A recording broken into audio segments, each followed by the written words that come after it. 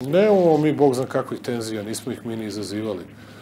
Oni koji su se pravdali drugima da ih nije postavljala vlast Srbije i oni koji misle da je rešenje bilo u tome da uvek Srbiju okrive za sve, oni neka se pravdaju i neka govore o tome. Što se mene tiče, mi želimo pristojne, normalne, dobre odnose, poštujući Crnogoru.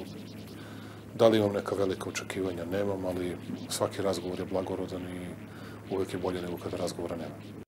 Pa dobro, ja nisam pročitao taj izveštaj na takav način, sem onoga što sam mogao da vidim u, na pojedinim portalima, dakle, ne bih da se definitivno izjašnjavam o nečemu što nisam pažljivo pročitao. Ja nemam kao svi Srbi ili većina Srba mišljenja o svakom pitanju, a da nešto nije ni video. Dakle, moram da vidim to, pa da bih onda mogao da ga ocenjujem. Ali sam video, a to je da glavne optužbe idu na račun Republike Srpske i na